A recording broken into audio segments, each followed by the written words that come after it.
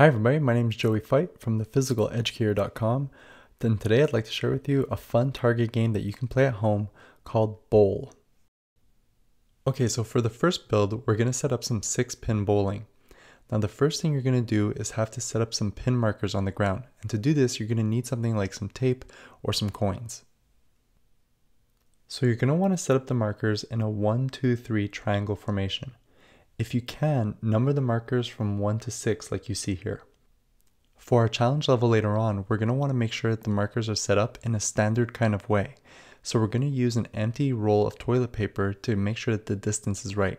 There should be one roll of toilet paper between each marker in a row, and there should be two rolls of toilet paper between the first and fifth marker. So once you have your pin markers set up, the next step is to draw out your foul line. And you can use anything from a cord to some chalk or a belt. Just make sure that you have a nice straight line that's 10 feet away from the head pin. Okay, once all the markers are set, you're ready to set up your pins. Now ideally you would use a set of six identical bowling pins to, on the pin markers you've set up. But that being said, you might not have access to that at home right now. So you can use anything from empty toilet paper rolls to markers to water bottles, anything you can find around the house that will serve the role of a pin in this game. Once you've got your six pins set up, you're going to need a ball to bowl with and you're ready to get into some six pin bowling. So standing behind the foul line, you want to bowl the ball to try and knock over as many of the pins as possible. Don't worry if you miss the pins or if you get a spare, just see how many attempts it takes you to knock all of the pins down, making sure to take away any knocked over pins after each attempt. In build 2, we're ready to explore a couple different pin formations. Print out the bowl challenge cards that your PE teacher has provided you with. If you don't have a printer at home, you can just use a set of playing cards.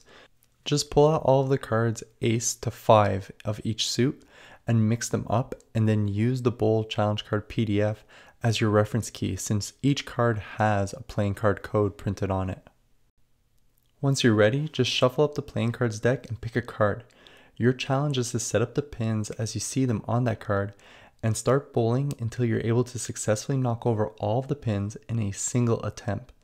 Once you have done so, you can pick a next card and just keep bowling. In build 3, we're ready to challenge a friend to a game of bowl. So if you have somebody at home that you can play with, that would be perfect. But if not, since the game is meant to be set up in the same way every time you play, you can challenge a friend or family member over a video call on your computer or mobile device. To start the round, challenge your partner to a round of rock, paper, scissors. Whoever wins that will be start off as the lead bowler. The lead bowler starts the game by drawing a bowl challenge card. Their partner is responsible for setting up the pins into the formation that's displayed on that card. Once the pins are set up, the lead bowler shuffles their challenge card back into the deck. The bowler then has three attempts to try and knock over all the pins in a single bowl. If they miss or if they get a spare, their partner has to reset the pins into the formation and get them the ball back after each attempt. If the lead bowler successfully knocks over all of the pins, their opponent now has three attempts to do the same shot. If they do so, the lead bowler picks a new card and the players go back and forth through this process. However, if the opponent does not knock over the pins in their three attempts, that player earns a letter, in this case a B. It's still the lead bowler's turn to pick the next card and keep bowling in the next round. If the lead bowler misses on all three of their attempts, the two players exchange the lead, and now the new lead bowler gets to pick a new bowling card. Play goes on like this until one player has earned all of the letters of the word bowl, in which case their opponent wins the game. So that's Bowl, a target game that we've broken down into three builds.